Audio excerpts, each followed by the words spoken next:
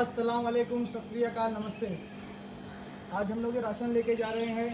हमारे नज़दीक में जितनी मस्जिद है, मंदिर है, उनके मौलाना और पुजारियों के लिए, क्योंकि जब से मस्जिद बंद हुई है, मंदिर बंद हुई है, उसके बाद से कोई भी मस्जिद में देखने नहीं जा रहा कि क्या चल रहा है, क्या नहीं चल रहा है।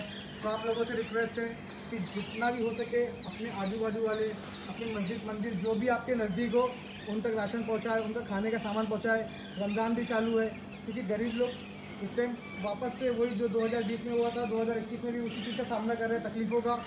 तो सबसे पहले आप किसी को नहीं, अपने आजू में, अपने इधर उधर, अपने रिश्तेदारों में जो भी तकलीफें हो, कम से कम एक एक आदमी की मदद करेंगे तो इन बहुत लोगों की मदद हो जाएगी।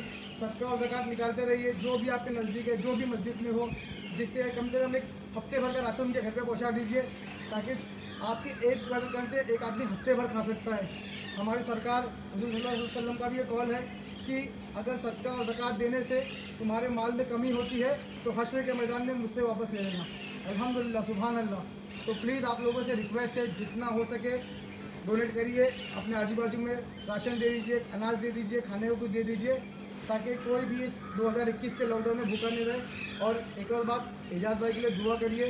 भाई हॉस्पिटल में ही है, बस दुआ करिए, जल्दी से जल्दी उनकी बीमारी खत्म हुए वो जल्दी जल्दी वापस आ जाए और सबका वापस से अच्छा करने लगे। जैसा अब उनका काम चालू है और इन हमारा काम चालू था, चालू है और चालू रहेगा।